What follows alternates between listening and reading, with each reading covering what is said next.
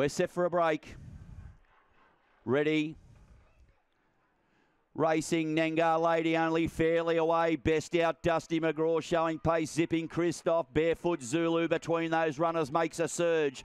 Next was Breakout Boy. Sweetest of all. Well back Southpaw McGraw, My Munro and Nengar Lady at the tail. Taking the lead was Barefoot Zulu. He surged, surged the link clear on Dusty McGraw. Next was Zipping uh, Christoph. But surging clear Barefoot Zulu. He's a star. He's beaten Breakout Boy Dusty McGraw close up to those were zipping Christoph Southpaw McGraw. Well back my Munro, sweetest of all at the tail, one a long way off them, Nengar Lady.